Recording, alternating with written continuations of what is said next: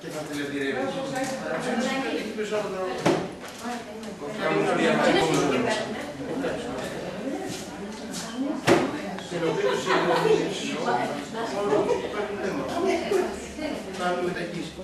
η αιμοδοσία που γίνεται στο Δήμο Περιστερίου.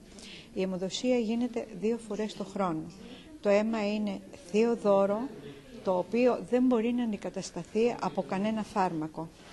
Η προσφορά αίματος είναι πράξη αγάπης, αλληλεγγύης και ανθρωπιάς, ανθρώπου προς άνθρωπο και μας δίνει εμάς τη δυνατότητα να μπορέσουμε να βοηθήσουμε ανθρώπους που έχουν ανάγκη, είτε είναι άρρωστοι, είτε έχουν κάποιο ατύχημα.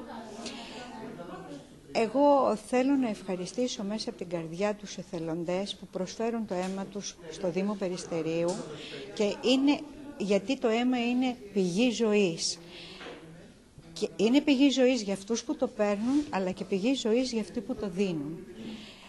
Ακόμη θέλω να πω ότι πρέπει όλοι να ευαισθητοποιηθούμε για να προσφέρουμε 10 λεπτά από τη ζωή μας σε έναν άνθρωπο που θα ζήσει για πολλά χρόνια.